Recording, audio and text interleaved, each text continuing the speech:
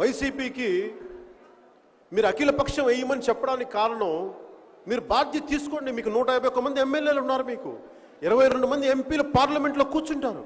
మీకుంటుందా? బలం నాకుంటుందా? నన్ను వ్యక్తిగతంగా జాతీయ స్థాయి నాయకత్వం నన్ను ఇష్టపడచ్చేమో.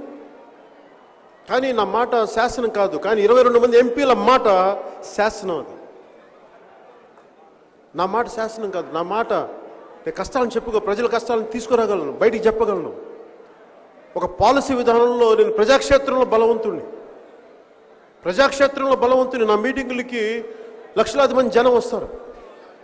కానీ ఈ చట్టసభల్లో నేను చాలా బలహీనుణ్ణి. జనసేన బలహీనంగా ఉంది ఇంకా ప్రస్తుతానికి. అందువల్ల నాకు లేదంటే నేనే వెళ్ళి మాట్లాడేవాడిని ఢిల్లీకి. వీళ్ళలాగైతే వైసీపీ లాగా చేతగాని తనంగా అయితే కూర్చునే వాళ్ళం కాదు మేము.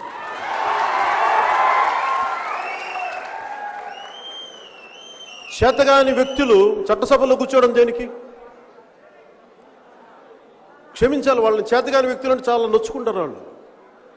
సరే మీరు చేతగాని వాళ్ళు కాదు నిరూపించుకోండి. కనీసం పార్లమెంట్ సమావేశాలు జరుగుతున్న ఇంకొక వారం రోజులు జరగబోతా ఉన్నాయి.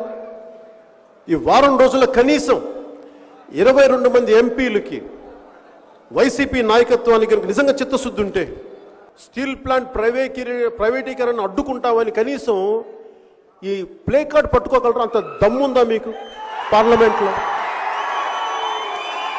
ఇది కూడా చేయలేదు.